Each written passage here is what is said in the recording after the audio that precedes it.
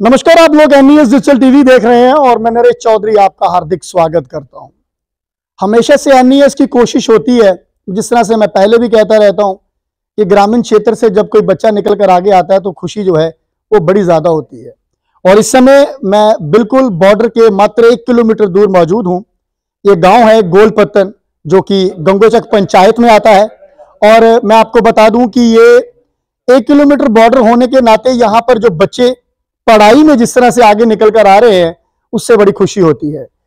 कल ही बारहवीं कक्षा का जेके बोर्ड का जो है वो रिज़ल्ट जो है वो घोषित हुआ, जिसमें मेरे साथ ये बच्ची जो खड़ी है, दंशु शर्मा, इसने एट्थ पोजीशन लेकर हमारे क्षेत्र का नाम जो है वो रोशन किया है। और ये कुछ छोटी बात नहीं होती है, जब आप एट्थ पोजीशन ले रहे हैं, नॉन मेडिकल इसके सब्जेक्ट हैं, और दंशु शर्मा का परिवार यहाँ पर पूरा मौजूद है, और गंगोचक पंचायत की सरपंच मैडम लज्जा देवी यहाँ पर मौजूद हैं। उनको भी इतनी खुशी हुई कि उन्होंने मुझे रात को ही कॉल कर दी कि हम लोग जो है उस बच्ची को मिलने के लिए जा रहे हैं उसे हौसला अफजाई देने के लिए जा रहे हैं उसके फ्यूचर की। तो यहाँ पर सबसे पहले मैं दंशु से बात करूँगा। दंशु कितनी खुशी है आज?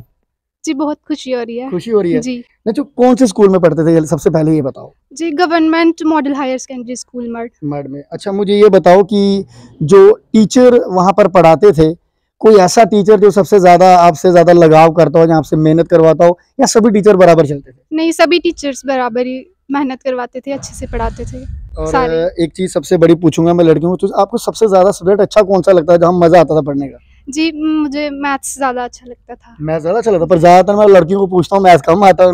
नहीं नहीं अच्छा लगता है मुझे मैथ्स अच्छा लगता है।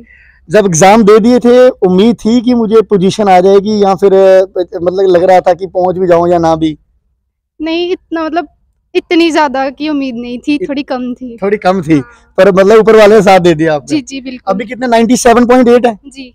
लगभग अट्ठानवे प्रतिशत इसमें मार्क्स जो हैं वो लिए हैं और कई बार लोग कहते हैं कि जी पढ़ने के लिए शहर जाना पड़ता है शहर में जाके पढ़ाई करनी पड़ती है अच्छी ट्यूशन लेनी पड़ती है बच्चों के लिए बड़ा कुछ करना पड़ता है।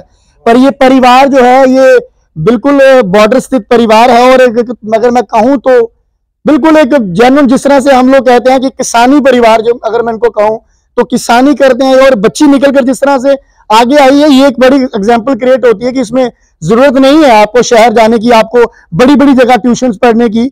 यहीं पर इस बच्ची ने पढ़ाई की गवर्नमेंट स्कूल में पढ़ाई करके। आज देखिए आप किस तरह से परिवार का नाम रोशन किया है। मेरे साथ यहाँ पर सरपंच मैम लज्जा देवी हैं। मैम, कितनी खुशी है आज की जिस तरह से आपकी पंचायत की बच्ची ने आज पंचायत का तो नाम रोशन ही किया, पूरे क्षेत्र का नाम रोशन कर दिया। मेरा नाम श्रीमती लज्जा देवी है। मैं गंगोचक पंचायत की सरपंच हूँ।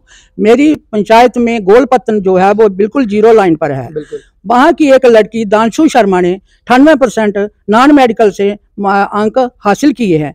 जब मैंने उसका फ़ोटो देखा और अंक देखे तो मुझे बहुत खुशी हुई। मैं आज उसको मुबारक देने के लिए इधर आई हूँ। मगर जो- मैं, मैं मेरा सवाल है एक आपसे।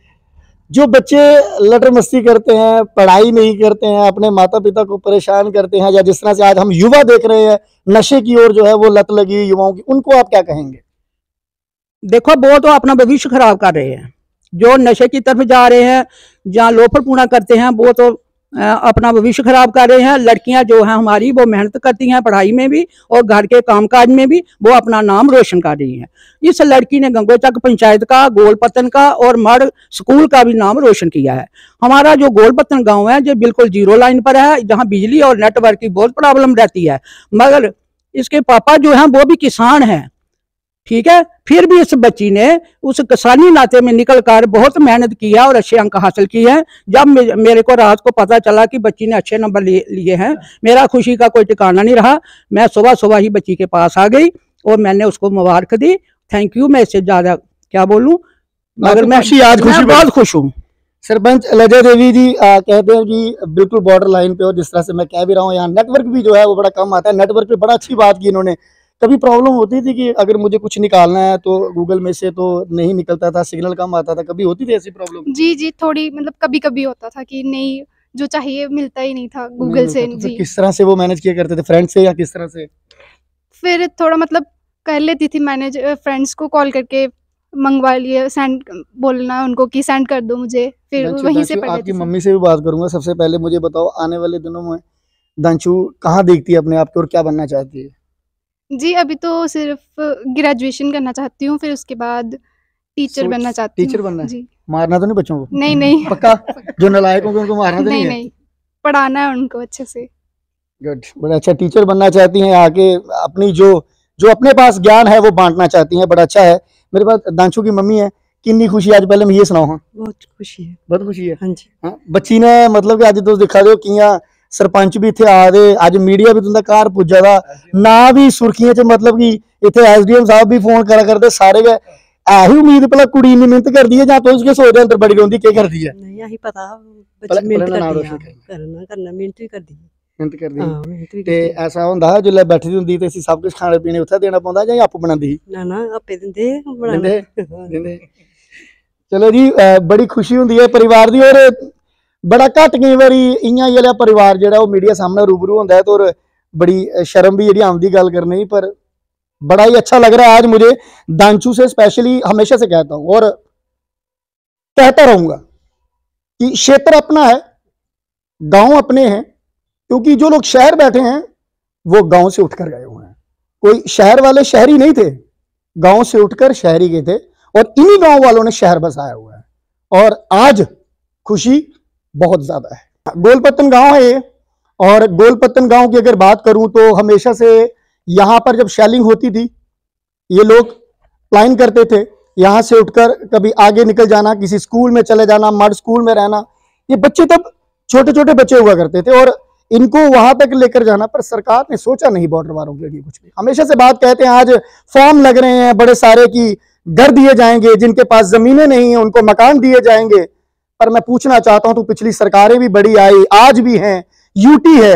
अगर यूटी के दौरान भी इन लोगों की नहीं सुनी गई तो कब सुनी जाएगी? ये बॉर्डर बेल्ट जितनी भी है इन लोगों को ज़रूरत है कि इनको एक कम से कम गाँव से उठकर मैं शहर की बात ना करूँ पर यहाँ से ज़ीरो लाइन से थोड़ा दूर इनको कोई चार चार मरले का ही प्लाट दे दिया जाए ता, ताकि कल को आने वाले दिनों में हालात खराब हों तो इन लोगों को इस तरह से परेशानियों का सामना ना करना पड़े। और जब दंशु शर्मा जैसी बच्चे यहाँ पर इस बॉर्डर क्षेत्र में रहते हैं तो इनको ग्रामीण मत समझिए। ये बहुत आगे जाने वाले हैं। ये मैं आपको ज़रूर एनईएस के माध्यम से हमेशा से कहता रहता हूँ। और पूरे परिवार को डिजिटल टीवी की टीम से बड़ी मुबारकबाद भी देता हूँ। और सरपंच लज्जा देवी का बड़ा शुक्रिया अदा करता हूँ कि इस तरह से बच्चों की हौसला अफजाई करें, क्योंकि इससे जो है कहीं ना कहीं कॉम्पिटिटिव होते हैं बच्चे। आने वाले दिनों में इनके आस पड़ोस गाँव से कोई बच्चा और भी बोलेगा कि यार, मुझे भी अच्छा करना है कि मेरे को भी आके कोई प्रसोहित यहाँ पर करे, मेरे को भी आकर कोई सम्मानित करे। फ़िलहाल बने रहे हमारे साथ नई अपडेट के लिए।